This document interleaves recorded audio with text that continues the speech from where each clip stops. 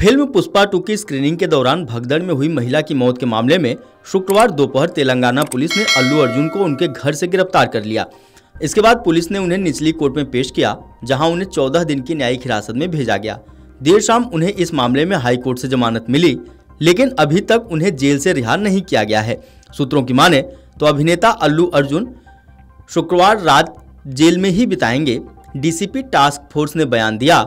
कि अल्लू अर्जुन शुक्रवार की रात जेल में ही बिताएँगे।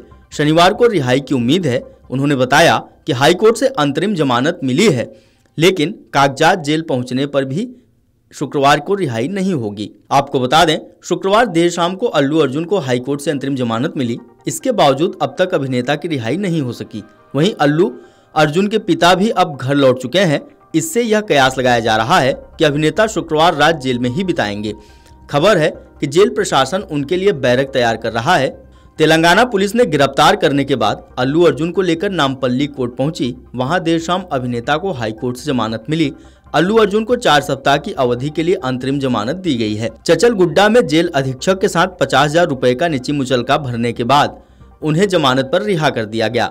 अल्लू अर्जुन के वकील ने कोर्ट में सुनवाई के दौरान शाहरुख खान से जुड़े एक ऐसे मामले की तुलना की, जिन्हें अपनी फ़िल्म रईस के प्रचार के कार्यक्रम के दौरान बड़ोदरा रेलवे स्टेशन पर भगदड़ मचने के बाद कानूनी जाँच का सामना करना पड़ा था, जहाँ एक व्यक्ति की मौत हो गई थी और अन्य घायल और बेहोश हो गए थे। साउथ सुपरस्टार अल्लू अर्जुन के वकील ने अपनी दलील रखते हुए शाहरुख खान से जुड़े एक ऐसे ही मामले की तुलना की, जिसमें भगदड़ मच गई थी। वकील ने उसी घटना का ज़िक्र किया और कहा कि फ़िल्म रईस के प्रचार के दौरान शाहरुख खान को देखने के लिए भारी संख्या में लोग इकट्ठे हुए थे।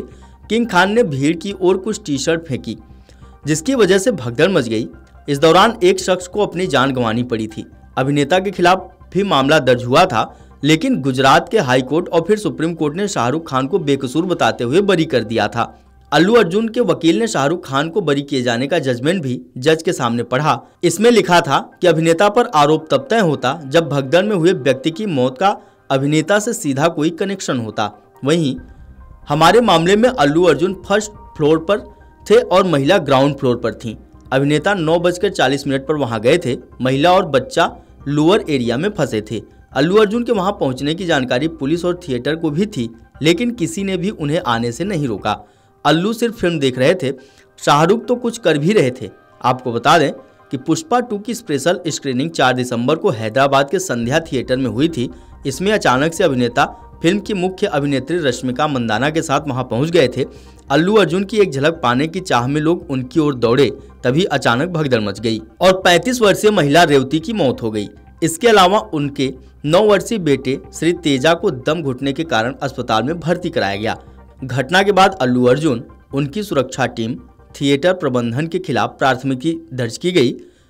रेवती के परिवार द्वारा दर्ज की गई शिकायत के आधार पर चिक्कड़पल्ली पुलिस स्टेशन में भारतीय न्याय संहिता की धारा 105 और 118 के तहत मामला दर्ज किया गया था। आपको बता दें कि अल्लू अर्जुन की फ़िल्म पुष्पा टू ने बॉक्स ऑफ़िस पर धूम मचा दी है। अब तो पुष्पा टू के एक्टर अल्लू अर्जुन ने खुल्लम खुल्ला भी कह दिया है कि वो चाहते हैं कोई भी फ़िल्म तीन महीने में उनकी इस फ़िल्म के कलेक्शन को पार कर जाए। इससे सारी इंडस्ट्री के लिए एक चुनौती भी कही जा सकती है। पुष्पा टू की कमाई अपने पहले वीक को पार कर चुकी है। एक सप्ताह में एक हज़ार करोड़ से अधिक की वर्ल्ड वाइड कमाई कर चुकी है। ये फ़िल्म फ़िलहाल थमी है। आठवें दिन की कमाई के साथ ही पुष्पा टू की हिंदी में कमाई 425.6 करोड़ रुपए के करीब हो चुकी है। वहीं ये इस साल की सबसे अधिक कमाई करने वाली कई बॉलीवुड फ़िल्मों से आगे निकल चुकी है। लेकिन स्त्री टू अभी भी इसके सामने मजबूती से खड़ी है। वहीं पुष्पा टू ने इस साल सबसे अधिक कमाई करने वाली फ़िल्म, कल की अट्ठाईस सौ एडी भूलभैया थ्री को सिंघम अगेन तक को पछाड़ चुकी है। Video desk Amar Ujala dot com.